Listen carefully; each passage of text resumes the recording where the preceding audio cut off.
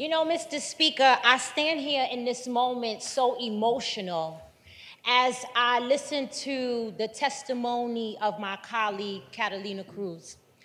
And as I listen to the awesome sponsor of this legislation defend this bill, and all the other testimonies from my colleagues in this chamber, I'm emotional because of who I am. I'm emotional because of who I represent.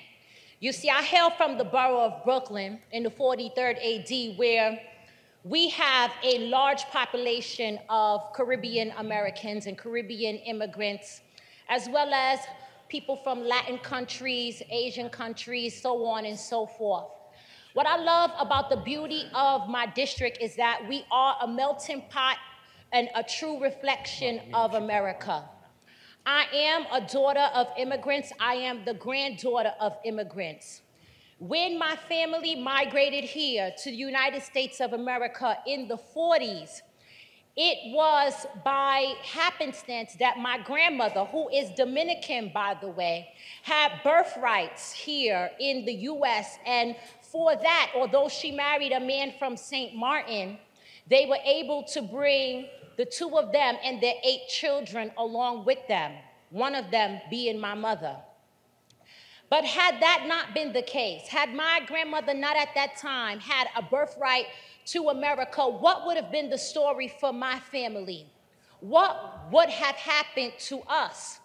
Well, guess what? It was turmoil back in our native land. And guess what? They were going to come to America anyway. The same America that opened its doors on Ellis Islands to those immigrants were going to open the doors to my family. But guess what? We got lucky.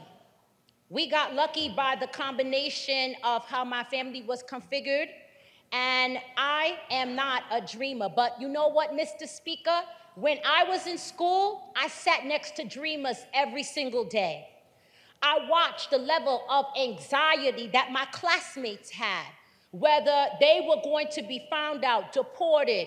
You know, I watched the struggle, the struggle of basic needs like transportation, like food, and all because they want to what? They want to excel and move further in this American society and take advantage of the dreams that we told them they could find here.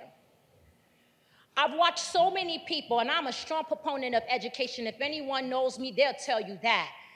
I went to Medgar Evers College.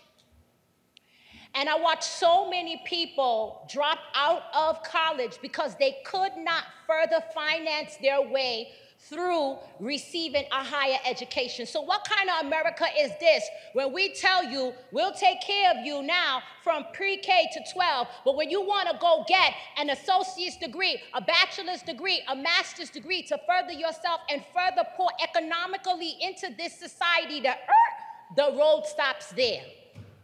Well, you know what? I want to commend Senator Jose Peralta because he had a dream. And when it wasn't favorable, he walked around in this chamber and he championed that piece of legislation. I want to thank all of my colleagues who stood up in this chamber and testified and shared your stories and spoke in your native tongue. Because to all the other colleagues who don't get the point, this is what New York looks like. This is what America looks like. And as we are going to pass this DREAM Act today, we are going to create access, education access for so many people who deserve the right to just learn. And with that, I vote in the affirmative.